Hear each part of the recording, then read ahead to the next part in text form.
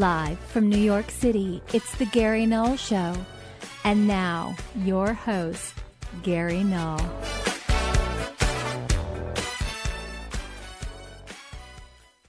Hi, everyone. I'm Gary Null. We have a power packed hour. We're going to talk about coenzyme Q10 and why it's really good if you have diabetes from Kashan University Medical Sciences in Iran. We're also going to look at the link between estrogens and the changes in your heart's physiology, University of Alabama. Also, if you're using ginger, I'll give you a lot more reasons why you should be using it on a daily basis. A lot on health and healing today, as we do every day. And then I'm going to address an issue about the safety and efficacy of vaccines. This is from a press release that has just gone out concerning 730,000 Filipino children receiving a bad dengue vaccine, which causes dengue rather than preventing it. Well, that is one big screw up. Why isn't it in the mainstream media? It's actually happened. Also, today we'll talk about how sugar causes cancer. New information from G. from GreenMed Info. And we should be concerned because the average American consumes their body weight annually in this cancer causing substance, and yet hospitals freely feed it to their cancer patients. Obviously, to the harm it does, they are oblivious. So we're going to talk about that. Then I want to give you a look into the future, not the distant future. I'm talking about the current, now forward because there's a lot happening that people are simply, well, they're participating in, but they're not really aware of how dangerous it is. So I'll show you how bad it is and why you should not be so eager to take up the latest gadget because there's a consequence. So I want to thank Michael Lewis for sending over a piece from the head of Daimler Benz, that's Mercedes Benz, and it's a it was in an interview and talking about the future. And we're talking about now not 10 20 years out. Then from our audio file today i'm going to play the piece about everyone you're listening to is either former irs director commissioner of the irs or the leading irs agent talking about personal income tax. Also tonight i'm going to do a two hour special as I did last week, but this week it's on the environment and global warming. I'll have uh, Kevin Hester on the first hour. The second hour will be one of the most interesting, uh, in depth analysis of the human condition you've ever heard.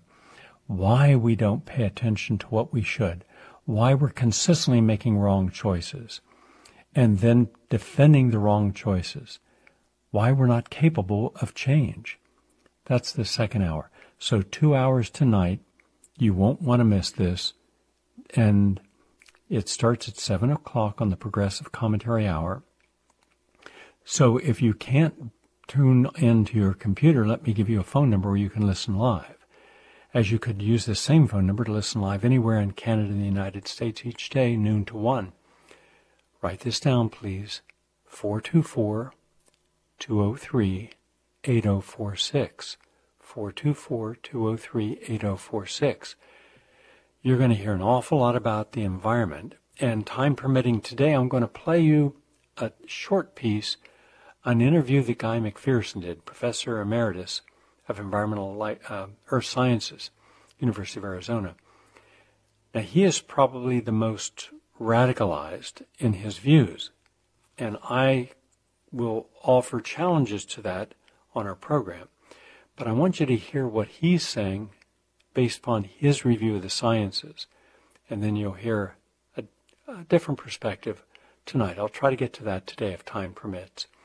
And if all that's capable, then we'll go to some calls and have you share your points of view as well. Uh, by the way, if you can't listen live, but you want to listen later, just write down the archive number 701 719 9976. 701 719 9976. But we always start every day with the latest in health and healing. There is a, a randomized trial to take a look at the coenzyme Q10, ubiquinol, and specifically people with diabetic neuropathy. And that's very common. And that's a progressive kidney disease that occurs in about 30% of diabetics. And it's associated with several metabolic disorders like insulin resistance and inflammation and oxidative stress. So they took a look at coenzyme Q10 and wanted to find out what will it do. Well, quote, Q, coenzyme Q10 supplementation due to the effect of glucose metabolism may be useful to control severity of diabetic neuropathy disease and decreases insulin requirements, end quote. But let's say you don't have diabetic neuropathy. You're just a regular person listening right now. You should be taking coenzyme Q10 because it improves glucose metabolism, it reduces oxidative stress, and it's extremely good. You can look at this article in the Journal of the American College of Nutrition. So it really made a difference, so all diabetics should definitely be taking it. University of Alabama took a look at estrogens. Now, estrogens, as we know, are very powerful hormones important for the formation and functioning of our nerves and our reproductive system and our cardiovascular system.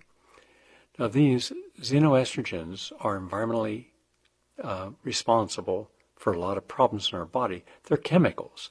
They come from industrial pollutants and also natural compounds, but they mimic estrogens and can be very toxic to human health, which is why I suggest people pay attention to what you're eating and drinking, because a lot of those artificial chemicals in your food can disrupt your hormones. And an important model to study xenoestrogens, also known as estrogenic environmental endocrine disruptors, is the rapidly growing one inch long freshwater zebrafish. Notably, zebrafish are the established model for human cardiovascular development and function. And so they took a look at this in the Department of Toxicology and Pharmacology over at the University of Alabama. And they found that when they're exposed to these chemicals in our environment, especially those that mimic estrogen, quote, all kinds of bad things happen. Environmental compounds that mimic estrogens can be harmful because they can influence gonad function. Our results suggest that endocrine disrupting compounds may also influence cardiac function. So it actually impacts your heart. So, the answer, the solution, the good news, just stay away from the junk food, stay away from the chemical processed foods, go towards a healthy plant based diet. From the Karolinska Institute in Sweden, published in the Journal of Allergy and Clinical Immunology, new research reveals that a high level of the polyunsaturated fatty acids in children's blood are associated with reduced risk of asthma and rhinitis uh, at the age of 16. Now, allergic diseases such as asthma and rhinitis are common and often debut in childhood. And today we know that disease risk is affected by both hereditary and environmental factors, more environmental. And I blame the bedwetting with the excess use of dairy. We've seen a correlation. Vaccines, all forms of vaccines can adversely affect the immune system and in the process cause allergic reactions and inner ear infections, and also delayed learning. And allergies are just epidemic today. They didn't used to be, but the good news is that the that the study is the largest to investigate the association between long chain omega 3 and omega 6 fatty acids in the blood and subsequent development of asthma and other allergic diseases.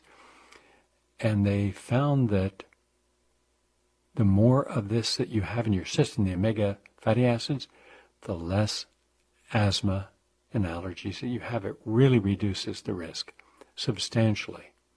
So just make sure that your children are getting, let's say, avocados, walnuts, some flaxseed oil. If you're not vegan, then fish oil, and that'll make a big difference. For those of you who've been exercising every day, good for you. University of Illinois looked at two separate studies and they offer the first definitive evidence that exercise alone, just by itself, nothing else, can change the composition of microbes in your gut. The study was designed to isolate exercise induced changes from other factors like diet or antibiotic use, and that could impact the microbiota in your gut. And it made a difference. So, those of you who exercise, you're going to have healthier gut bacteria. So that's that's good. Now, if you exercise and have a healthy diet and you have lots of fiber, then there's no need for colorectal cancer or intestinal polyps or inflammation in the intestine or stomach or colon at all. And therefore, that's completely preventable. But if you already have any of that, you can help improve it or reverse it from the University of Wisconsin. High stress childhoods blind adults to potential loss. What do I mean? Adults who lived high stress childhoods have trouble reading the signs that a loss or punishment is looming, leaving themselves in situations that risk avoidable health and financial problems and legal trouble. That's what it means. And so you have to take a look at are you acting appropriately in times of crisis? Most people don't. Most people can't see it coming. Now, maybe they're in denial. Maybe they don't want to see that their actions are going to be, you know, creating something that they're not going to like later. Think of Black Friday. Think of all the people that bought stuff they didn't need with money they don't have but they weren't paying attention to what the likely outcome is going to be when they can't make their full payment and suddenly the interest that they're charged really goes up.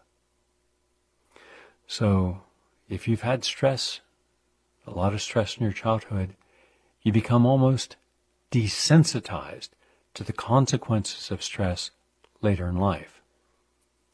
So that's important.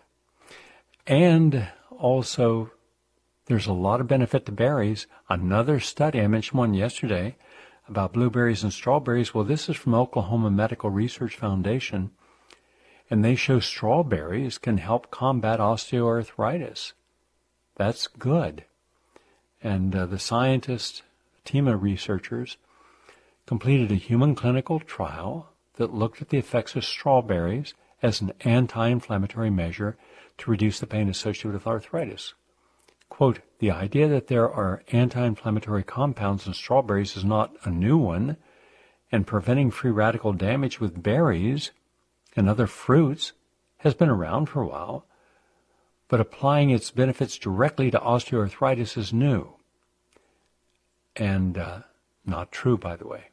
We did a study which was published in a peer reviewed journal and presented at a scientific conference of five years ago where a group of individuals, starting off with over 300, for 28 days, they had to be on a very strict protocol. And to make sure that there was compliance, they had to do a diary every day. And when we had our meetings each week, if they didn't have anything in their diary, they didn't get in. That was it. And once about 20 people came thinking, well, I'm, I'm not going to do anything. Well, goodbye. Then the other people got the message. So it was really strict. And what was one of the very first things we did? We put berries, a lot of berries. Now they could eat the berry, good.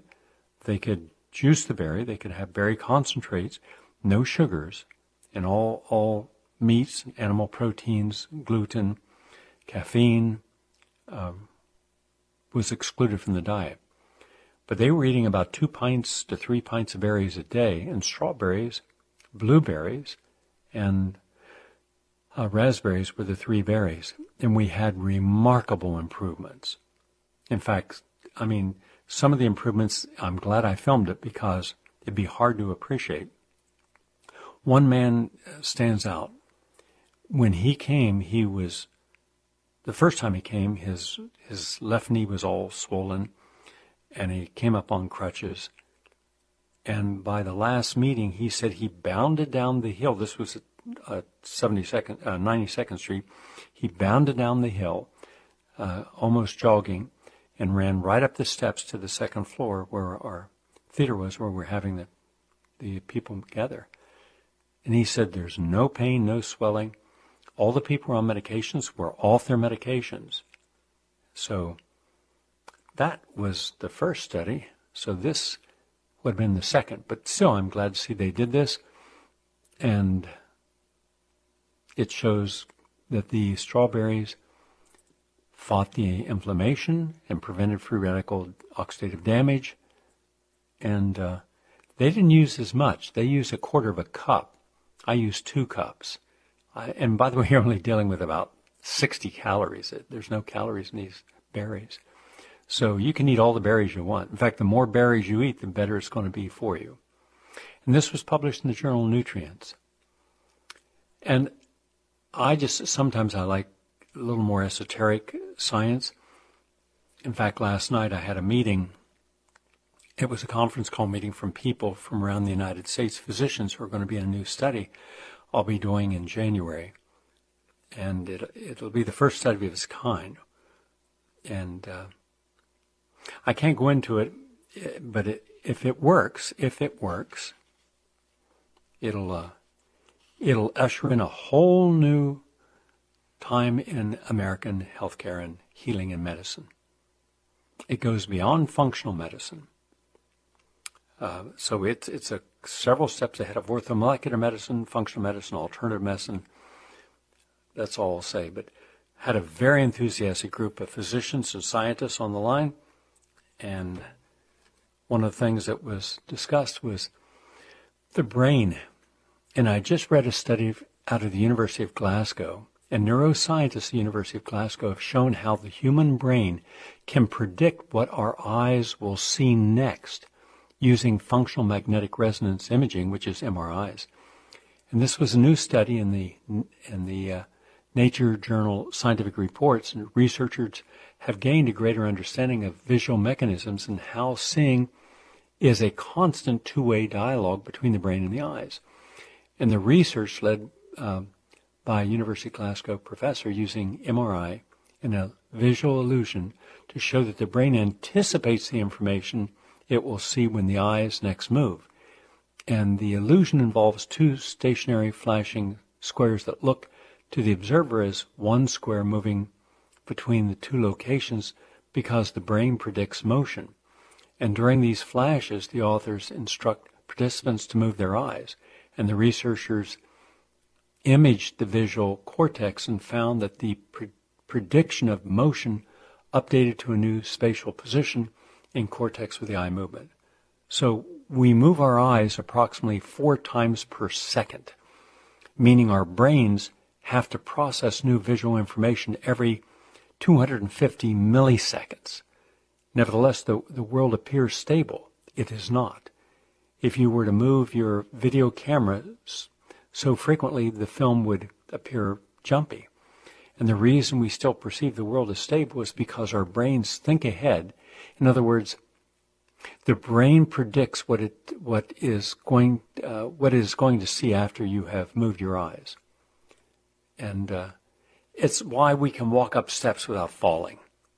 Have you ever noticed you don't look down when you're walking up steps? You just walk up the steps. Well, how does your foot know how high to rise, how far to go in, without jamming it against the backstop or stepping on just the end of the step and falling backwards, how does it know?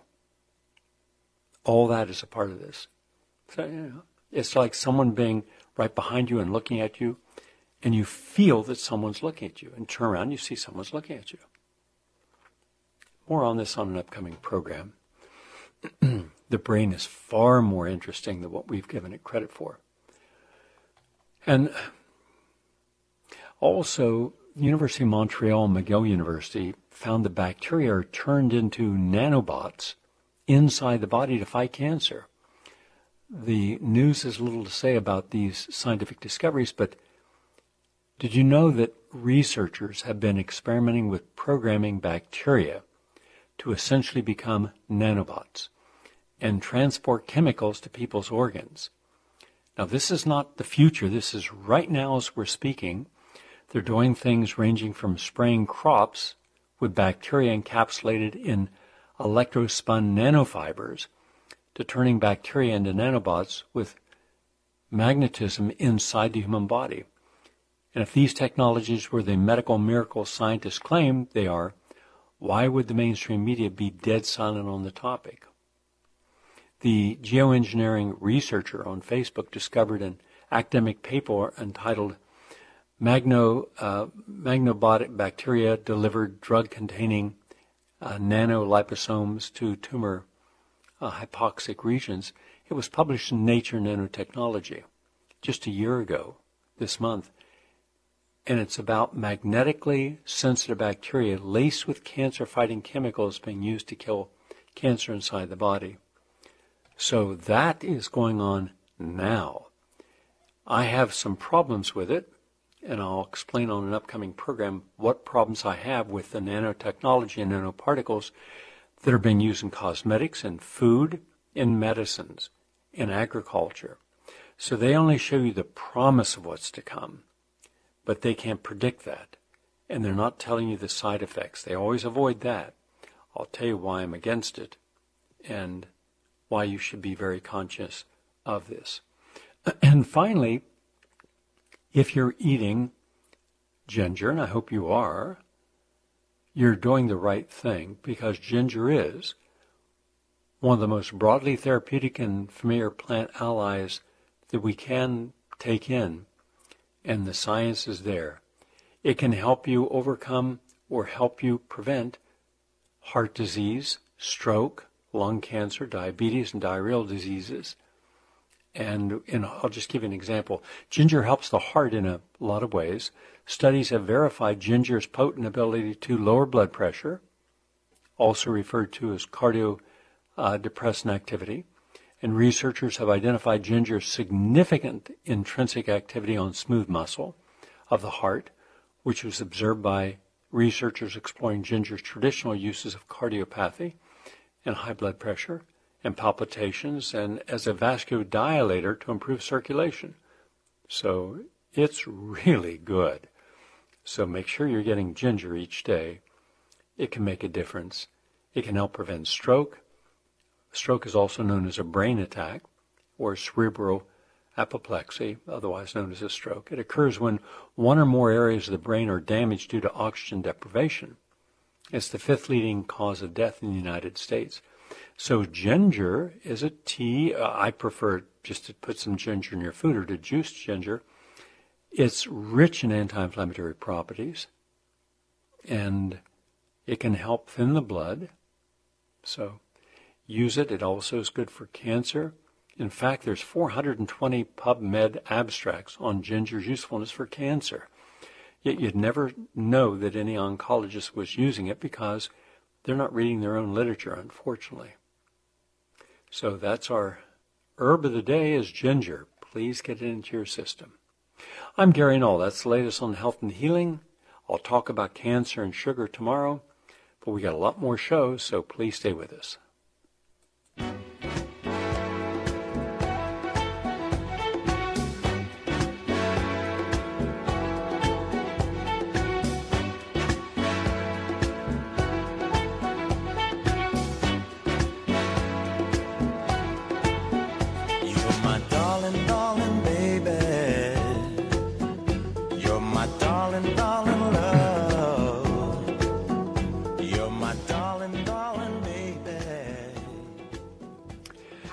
Nice to have you with us, everyone. I'm always interested in the future and trends, and my good friend Gerald Celente is probably the best trends predictor in the United States. I'll have him on in, in a couple days to talk about trends for the new year. But you don't have to look very far to see what's happening now. And I want to share something that was sent to me by Michael Lewis, and it was based upon an interview given by the head of Daimler Benz or Mercedes Benz, and he said his competitors are no longer other car companies, but Tesla And Google and Apple and Amazon are. Now think of that for a moment. Software will disrupt most traditional industries in the United States in the next five to ten years. I believe that they've already disrupted a lot, so I'm going to say now over the next five years. For example, Uber is just a software tool. You're aware, don't you, that they don't own any cars. And yet, they're now the biggest taxi company in the world. They don't own a single taxi. The um, place that you rent when you go to a different city, the, the Airbnb, is now the biggest hotel company in the world, yet they don't own any properties at all. They own nothing. Artificial intelligence, or AI, these are the computers becoming exponentially better in understanding the world. This year, a computer beat the best Go player in the world 10 years earlier than expected. In the United States, young lawyers already can't get jobs because of IBM Watson. You can get legal advice within seconds with 90% accuracy compared to 70% accuracy when done by humans. So if you study law, I'd find another profession. No one should go into law today. There are there will be 90% less lawyers in the future. Good. And only specialists will remain. Watson already helps nurses diagnose cancer 400% more accurately than human nurses. And Facebook now has a pattern recognition software that can recognize faces better than humans. And in the near future, computers will become more intelligent than humans. And autonomous cars, next year, the first self-driving cars will appear for the public. And within another two years, the complete car industry will be disrupted. You don't want to own a car after that. You'll call a car with your phone. It will show up at your location and drive you to your destination. You'll not need to park it. You only need to pay for, the driven distance and you can be productive while driving. Our kids will never get a driver's license and will never own a car. It will change the cities because we will need 95% less cars for that, and we can transform former parking spaces into parks. 1.2 million people die each year in car accidents around the world. Over 45,000 in the United States. We now have one accident every 60,000 miles. With autonomous driving, that will drop to one accident in every six million miles. That will save a million lives every year. Most car companies will probably go bankrupt. Traditional car companies will try the traditional approach and try to build a better car, while tech companies like Tesla and Apple and Google will take the revolutionary approach and build a computer on wheels. Many engineers from Volkswagen and Audi are completely terrified of Tesla. Auto insurance companies will have massive trouble because without accidents, car insurance will become much cheaper. Their car insurance business model will slowly disappear. Real estate will change because if you can work while you commute, people will move further away to live in a more beautiful neighborhood. Electric cars will become mainstream within two years. Cities will be less noisy because of all the new cars will run on electricity. Electricity will become incredibly cheap and cleaner. Solar production has been on an exponential curve for over 30 years, and now we can see the impact. And last year, more solar energy was installed worldwide than fossil fuel. Energy comp- companies are desperately trying to limit access to the grid to prevent competition from home solar installation. But that can't last, and technology will take care of that strategy. And with cheap electricity comes cheap and abundant water. Desalination of salt water now only needs a two cubic meter, or which will be about 25 cents a gallon. And uh, we don't have scarce water in most places. we only have scarce drinking water. So imagine what will be possible if anyone can have as much clean water as they want at nearly no cost. In health innovations, the tricorder X-ray price will be announced this year, and there are companies that will build a medical device called a tricorder, T-R-I-C-O-R-D-E-R, and that works with your phone, which takes your retinal scan, your blood sample, and you can breathe into it. It then analyzes 54 biomarkers that will identify nearly any disease, and it'll be cheap, so in a few years, everyone on the planet will have access to some form of medical analysis nearly for free. So that will be a major challenge to the traditional medical establishment. 3D printing, you've seen that. That was a novelty five years ago. Well, the price of the cheapest 3D printer came down from $18,000 for the cheapest one to $400 within 10 years. In the same time, it became a hundred times faster. All major shoe companies have already started 3D printing shoes. And some common spare airplane parts are already 3D printed in remote airports. And the space station now has a printer that eliminates the need for a large amount of spare parts they used to keep in the past. And at the end of this year, new smartphones will have 3D scanning possibilities. You can then 3D scan uh, anything. You could 3D scan your feet and print your perfect shoes at home. And in China, they already 3D printed and built a complete six story office building. By 2027, 10% of everything that's being produced will be 3D printed. And business opportunities, well, that's where you're going to end up seeing the downside of all this. And that is because with everything going to high tech, listen carefully, 70 to 80% of jobs will disappear within the next 15 years. Now, there'll be some new jobs, but most people will be without a job. And they have no explanation. What exactly are all these people to do? How can a consumer pay to consume something unless you're putting them in debt peonage? And right now, all the major corporations are paying no taxes, even though they just had a reduction in their overall tax. They, they don't pay that anyhow. And they take whatever benefits they gain instead of trickling it down, which they never do they simply buy back more of their own stock, treasury stock, so that the value of the stock they own increases because you're limiting the amount of stock in the marketplace. It's just that simple.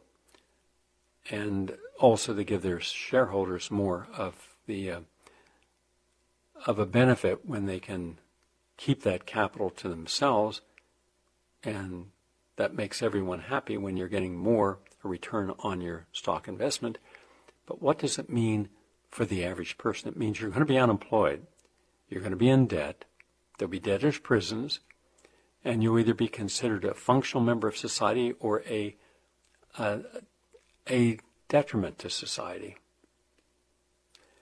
So we have agriculture. There'll be a $100 agriculture robot in the future. Farmers in third world countries can then become managers of their field instead of working all day on their fields. But that's assuming that they will own anything to farm. They will not. Aeroponics will need much less water. The first petri dish that produced veal is now available and will be cheaper than cow produced veal in about, well, a year from now. They've already introduced the first genetically engineered hamburger. Well, now that has got to be a little freaky for people that eat meat uh, because it started off as just some bacteria. But people will eat anything and buy anything. People can be convinced to do anything and think all this is to the betterment. It is not. There'll be several startups that will be focused upon insect protein. That'll be the next thing as cow production is diminished it will be economically non-feasible with if you bring out an insect burger for 50 cents to have a regular hamburger, even with the subsidies, at $2. So that's happening, and there's a whole lot more insects to eat than there are cows to eat. They're in the trillions. There's an app called Moodies, which can already tell in which mood you're in. And within two years from now, there'll be an app that can tell you your facial expressions. If you're lying, it'll know. Imagine a political debate where it's being displayed when they're telling the truth and when they're lying. Now imagine when you're asked any question that a person will instantly know if you're telling the truth or lying, even if you are not doing it uh, for any malicious reason. Would you want an authority figure to know every single thing you're thinking? And Bitcoin may even become the default reserve currency of the world. It's now over 10,000 in some trading. Longevity, not so much. Right now, we're, for women over the age of 50, life expectancy is decreasing. For the younger people, it's substantially decreasing, mainly because of the choices being made. But those who are living healthier lives will live longer lives, but technology will not allow you necessarily live a longer life. Common sense and prudence and discipline will. Education, the cheapest smartphones are already at $10 in Africa and Asia. Within two years from now, 70% of all humans will own a smartphone. That means everyone has the same access to a smartphone and therefore the quality of the education, which is subjective, at least they will have. So people that could never afford books, never afford to go to school, the college campuses will become so prohibitively expensive that only the very rich and the very elite could attend them. All other schools would be prohibitive. And by the way, from my own perspective, I believe that at least 70% of the people should never go to college because of its no value now the very jobs that historically you would have found when I went to school. There were three jobs for every graduate of college. Today, we have millions of young people staying at home because there's no job in the field that they have a degree in. And those that do have a job, frequently it's not the job that is allowing them to pay for a sustained life. So better learn trades or better join intentional communities, better get smarter than what you've been, or you're going to be on the downside of all this. I hope you had a chance to see the newest. I haven't yet because I've been out of town to see the newest version of the uh, of the Blade Runner. Because when you see that futuristic, everything in neon, everything video, everything being watched and monitored 24 7, and if you're very rich, then you live in a more comfortable place, a cleaner place. And if you're not, if you're one of the dregs of life, then you will suffer because we have not yet been in enough pain. Even after the hurricane destroying homes, that wasn't enough pain. Even with flooding in Houston, it wasn't enough pain. Even with all the chemicals coming out, over a million gallons of chemicals coming out and polluting the water and the soil and the air, it's not enough pain. Even though obesity and diabetes and heart attacks and strokes and divorce and bankruptcies and depression and anxiety, it's not enough pain. Let me tell you this, friends. We're not nearly in enough pain to decide to stop being stupid and change our life. Now, will that happen? Yes, but not because of death and not because of disease, not because of bankruptcy, because of Mother Nature. And I'll have a two to three day special on that beginning on Monday. Monday, Tuesday, Wednesday next week, I'm finally presenting the most comprehensive discussion you will ever hear in your life on the environment. And it will, it'll, it'll wake you up. That is the only thing that's going to get our attention and put us enough pain to say, I give up. I'm willing to be smarter than what I was before. I'm Gary Null. Back in a moment, but first we're going to go to an audio clip because I promised you I want uh, to hear the truth from IRS agents. All the people you're listening to are IRS agents, including a commissioner, about the personal income tax. Just information. What you do with it is up to you. Let's go. Can we go into the IRS Yeah, now? sure, I just let's talk about it. That's that's Sure. huge. Well, the IRS is huge, but don't forget the IRS is just part of the Federal Reserve Yes. System problem. And uh, in actuality, there is no law. I've, I've researched this very thoroughly because I kept hearing for years there's no law that you have to pay, and I sort of poo-pooed it. Oh, Yeah, I did know, too. And they make Mm-hmm. you think anybody that says that's a wacko and a kook, you know. But there is no law. Let me just tell you straight out: there is no law that requires you to file a 1040. I researched this, and I'll tell you why there's no law. First of all, the Constitution says, okay, that there's two kinds of taxation direct taxes and indirect taxes. A direct tax must be apportioned and done by census, which means that a direct tax, which is what a, a, tax on your labor would be, would be a direct tax, you can't get away from it, right? A direct tax on your labor would have to be apportioned, meaning divided amongst all the people equally, right? And an indirect tax is like an excise tax. It's like uh, a tax that you don't have to pay if you don't use the service. Luxury car or something. Uh, well, not even a luxury car label, but like gasoline. Right. If you don't want to drive a car, if you want to take a bicycle, you don't buy gas, you don't pay the tax. Right. So that's called an indirect tax. But that indirect tax has to be the same in every state. It has to be uniform. Okay? So there's two kinds of taxes, direct and indirect, in the Constitution. In 1894, they tried to pass an income tax on your labor. Uh, The Supreme Court said you can't do that. It's unconstitutional. They stopped. In 1913, to get around that Pollock decision of 1894, right, they, they passed the 16th Amendment, which said we can tax any income from any place for forever. Okay? And uh, once they passed that tax, then people started paying an income tax on the labor. It became, it became a third form of taxation. Mm-hmm. You had direct apportioned tax, you had the indirect tax, and now you had a direct tax that was unapportioned. Mm-hmm. Okay? So you had three forms of taxation mm-hmm. now. But, two things. The, the amendment was never ratified properly. It was a fraud. Okay? And that's been proven. But the second point is, is this even if it wasn't a fraud and had been ratified properly, even if it had been, okay, the Supreme Court in eight different decisions that I have researched said the 16th Amendment gave the government no new power of taxation. They can't tax the labor of the American people. So it was finished.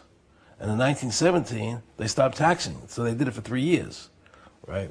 And so there's so there was there is no tax on the labor of the American people, no no legal tax, and no constitutional tax.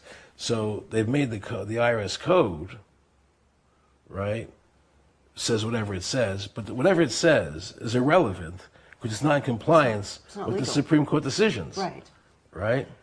So and so and even the IRS code, if you actually examine it, okay, even though it's irrelevant because it doesn't comply with the Supreme Court, Mm-hmm. actually, if you examine it, doesn't, there's still no law that makes you pay a tax on your labor. Right. Yet every one of us, most, well, I guess there are what, 69, 70 million Americans who don't, but most of the rest of us are on the treadmill and we're paying dutifully our taxes on time each year. Well, they make you feel if you don't pay it, you're not a good citizen. That's part of their propaganda, Well, and that's what allows them to keep spending money. But in fact, it's not just you saying this. What uh, I found very um, compelling in your film is that you're talking with former IRS agents and investigators who were put to the task of finding out on behalf of inquiries as to whether or not There's this was a legal practice. Right. Only to find out that it, it wasn't legal. And in fact, some of these people who were formerly with the IRS have not paid their taxes since they found out about this. Right. There, Now- there are many IRS agents, former agents, who have le- and who have left the IRS because they did the research, and they were in there before I was. Right. You know, and um, they deserve to be uh, honored for the work they've done because it's a giant. In my opinion, it's a giant scam. And It takes uh, a lot of courage to do that, though, because what are we still up against? well, the thing is, that we're up against the police state because what they'll do is, even though there's no law, they threaten people with harm. You see, but I interviewed the IRS commissioner, the ex-IRS commissioner, who wrote the, who wrote the tax code. He was general counsel to the IRS. He was the commissioner to the IRS, and he wrote the tax code. Okay, his name is Sheldon Cohen, and I interviewed him for the movie. And in the movie, he says, Supreme Court decisions are inapplicable to the IRS. Interesting. And what, what does he give as a justification for that? He has no justification because because I put him into a corner. He couldn't answer the questions, so he was forced at the end to say it doesn't. You know, Supreme Court decisions don't matter, which we all know is a lie. Right. So the IRS is not beyond the Supreme Court, right? So uh, there is no law that allows the government to, to have a direct, unapportioned tax on your labor. Okay. Now, an income tax is defined by the Supreme Court. Now, now, it goes further, and you'll hear a lot of agents. And a lot of those agents, including auditing supervisors, were challenged by Aaron Russo, the film producer who made a documentary on this. Show me the law. And they, they went, sure, I can. And they couldn't. And it really uh, perplexed them. And this was not just one or two, a lot of them. So some of them stopped filing income tax and the government sued them. and it showed all of them being acquitted, each of their trials, because the jury said afterwards, we had to acquit this person because the government did not make its case. It didn't show the law. If there's a law saying you have to file it, then show us the law. Let us, the jury, read it. They never once showed us because it doesn't exist.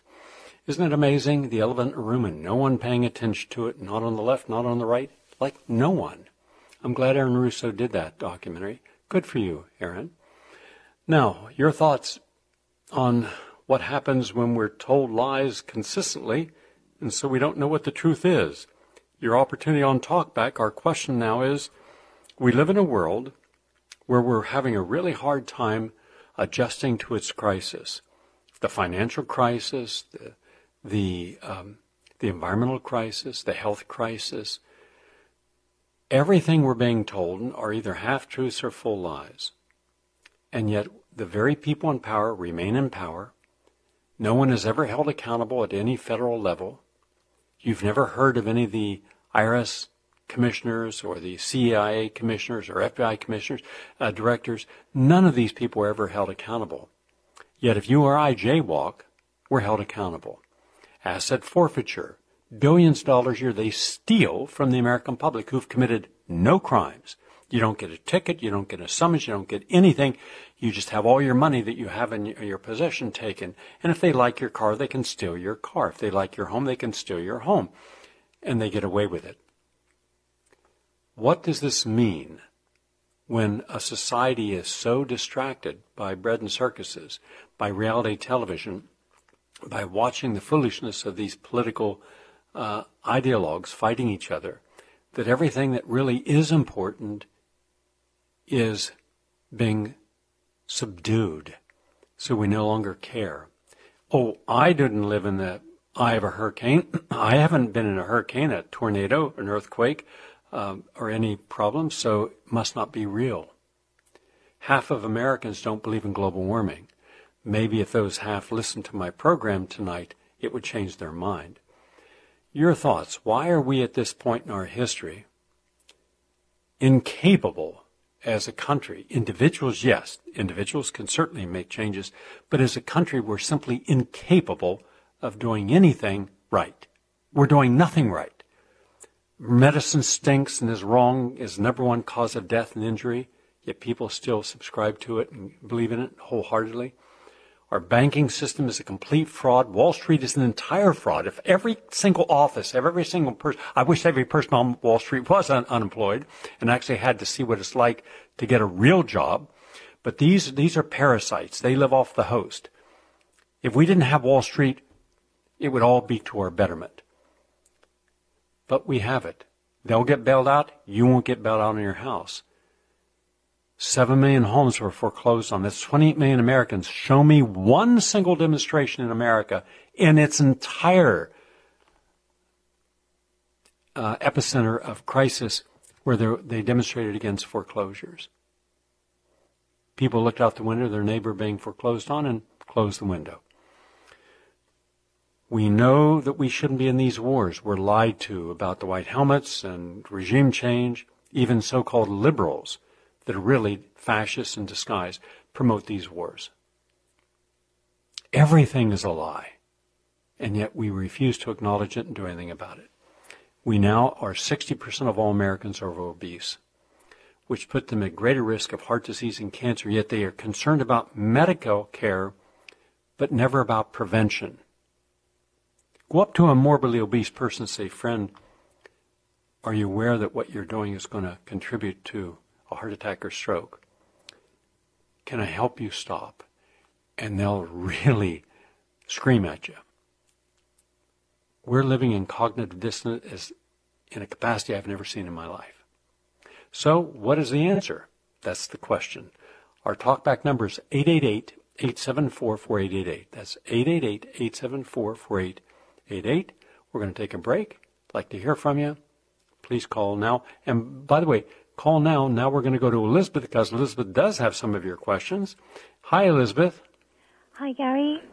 Here's a question that is, um, I think, very beneficial for a lot of us, a lot of people. Um, this comes from Eli in Florida, Miami.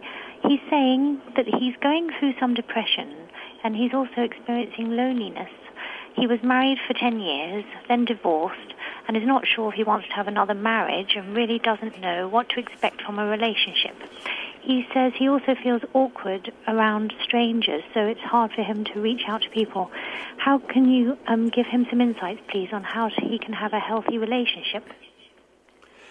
Well, go back to something he said a little earlier, and that is that he is lonely. So if you're lonely and you think the answer to overcoming loneliness is to have a relationship, that's not a good idea.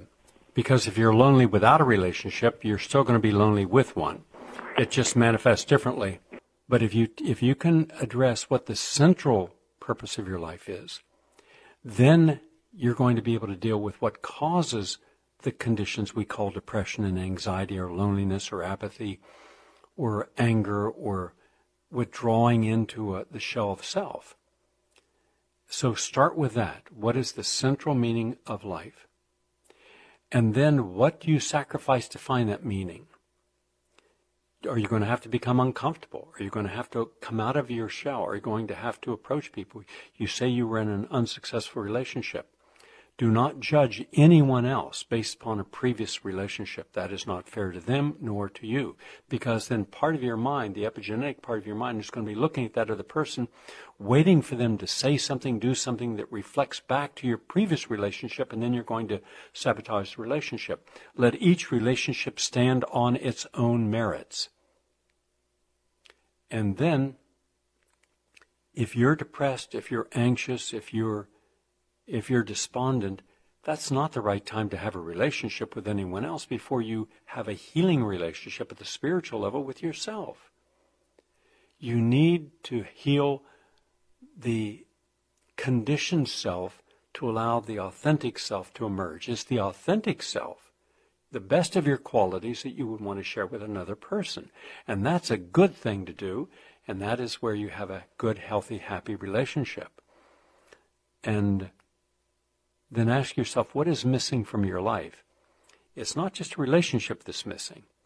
Go back and ask when you were in a relationship, did you feel complete? Was there happiness? Was there joy? Was there passion? Was there creativity? Was there pleasure?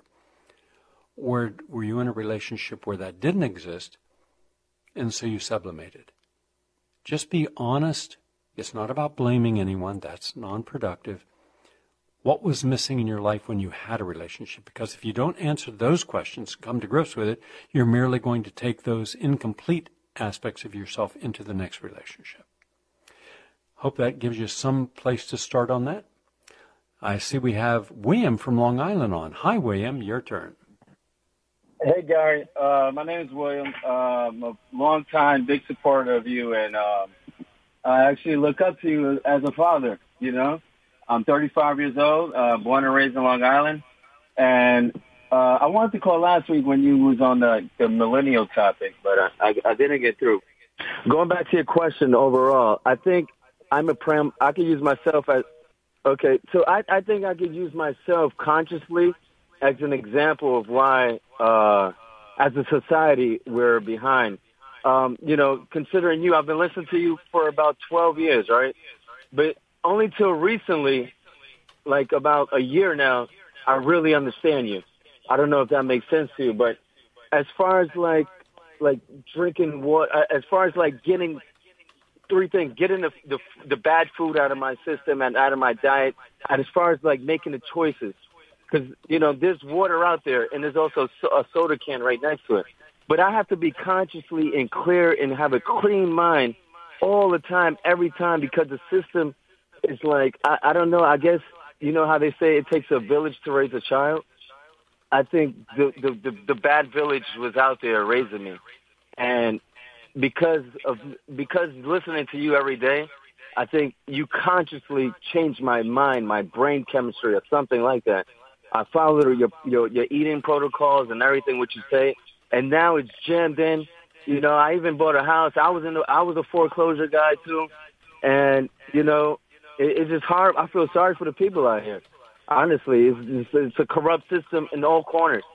In all corners, I think we're surrounded and just forced like the oil in the system to just keep on functioning, and then you know until we hit a wall, until society hits a wall, that's when we all gonna, I guess, um, wake up and rebel against, you know, our real Well, yeah. enemies.